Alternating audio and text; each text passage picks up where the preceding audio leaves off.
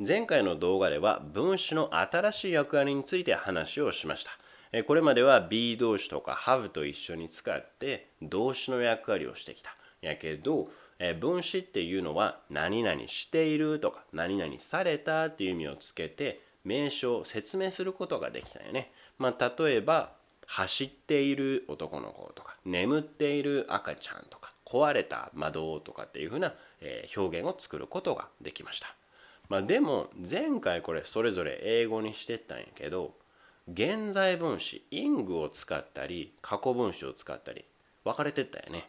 それって、まあ、前回はさらっとやっちゃったんやけどどうやって区別するんでしょう。まあ、というわけで今回はこの分詞の新しい用法の中で現在分詞イングと過去分詞をどうやって使使い分けていくのかこれを話していきたいなと思います。え早速前回の例でちょっと考えていくことにしましょう。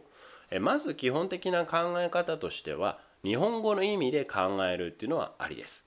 例えば走っているている男の子って言ってないから何々しているということであイングの方現在分詞を使うんやなと。走っている男の子 running boy としてあげたらいいよね。running boy です。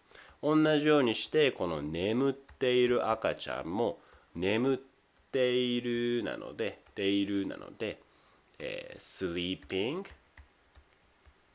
現在分詞のようにして sleeping baby と。これはそんなに難しくないんじゃないかなと思います。何々しているときたら現在分詞 ing の方を使って赤で引いとこうか現在分詞の方を使って何々されたであれば過去分詞を使うと。まあ、なので壊れた窓っていうのは壊された窓ってことなので壊されたってことやね。なので、えー、と過去分詞 break の過去分詞を使って broken window になりますよと。まあ、でもいつもこういうふうに走っている眠っているとか何されたというふうに日本語が書いてるかっていうとそういうわけじゃないよね。じゃあそういう時に、えー、どっちやろこれ現在分詞イングかな ED かなって迷った時どうしたらいいのか。えー、その時にはこの分詞になってる部分と名詞の部分こことの関係を考えてみてください。ここで言うと眠っていると赤ちゃんとの関係窓壊すっていう動詞との関係を考えてみてくださいえ。どうしたらいいかというとこの名詞の部分を主語にして一回文作ってみてほしいんです。例えば走っている男の子やったらこのボーイを主語にして B 動詞を間に入れる。boy is running 現在分詞を使いますと。もう一つは boy is run の過去分詞は run やね。boy is run これの意味をちょっと考えてほしいんです。そうすると boy is running 男の子は走っているところです。これ OK やね。OK やね、まあ、でもさ boy is run ってさ B 動詞と過去分して男の子は走らされてますっておかしいよねそういうことが言いたいんじゃないよねここではなのでこれはおかしいなとこういうふうにして文を B 動詞を間に入れて作ってあげるとこことの名詞との関係がよく分かりやすくなるよね。あ、ならこっちやと。えー、走ってる男の子っていう時は boy is running こっちの文が正しくなるので running boy になるなと。こういうふうに考えてあげることもできます。関係がはっきりするんやね。なので同じように考えてあげると、えっ、ー、と眠ってる赤ちゃんやったらこっちにしようか。眠ってる赤ちゃんやったらどうなるかっていうと、えー、baby is sleeping が、えー、と sleep の過去分詞形。ちょっと汚くなっちゃったけど slept やね。どっちが正しいですかって言ったら sleeping の方やな。眠らされてるって。ちょっと怖いやんか。そういう意味じゃないよね。まあなのでここもイングの方を使おうと。sleeping baby が正しいなと分かります。同じようにして窓を主語にしてこれも文作ってあげると window is breaking が正しいのか break っていうのは壊すって意味ね。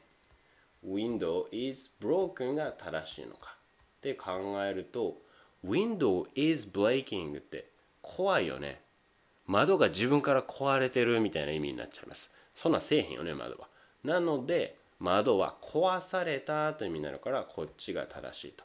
こっちは×なのであこれは過去分詞使う方やねんな。broken window と。こういうふうに考えてあげればいいんです。名詞との関係をちょっと文にしてみて考えてみるとえ現在分詞使うのか過去分詞使うのかえ分かりやすくなるんじゃないかなと思います。3つやりました。そしたら今のやり方とかも使ってこれ考えてみようか。これ結構ね難しいよ。どっちを使うのか。沸騰水。まあ沸騰している水ってことでね。沸騰してればお湯になってるんやけど。とゆで卵。これどっちも実は動詞は boil っていう単語を使います。えー、ボイルってどういう意味かっていうと、まあ、カタカナでもボイルってボイル焼きとか見たことあるかもしれんけど一つ目の意味は沸騰するという意味です。沸騰するという意味。そしてもう一つ何かを茹でるという意味があります、まあ、なのでどっちの、えー、沸騰水とかゆで卵どっちに対してもこのボイルっていう動詞を使うことができるんよね。そしたら沸騰水、まあ、沸騰してる水っていうのとゆで卵茹でられてる卵それぞれどっち使うんでしょう？まあ今日本語を言ったからわかるかもしれんけどちょっとさっきのやり方で考えてみようか、えー、水は water やね。水が water is boiling これが成り立つのか boiling それとも water is 過去分詞は boiled です。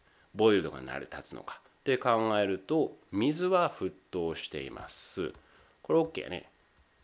水が沸騰させられてる、まあ、そういう時もあるかもしれんけど別にこれはそういう意味では使ってへんよねここなので water is boiling の関係が成り立ってるから沸騰水沸騰している水っていうのはイングを使ってあ、愛が抜けちゃった。boiling water こうなりますよと。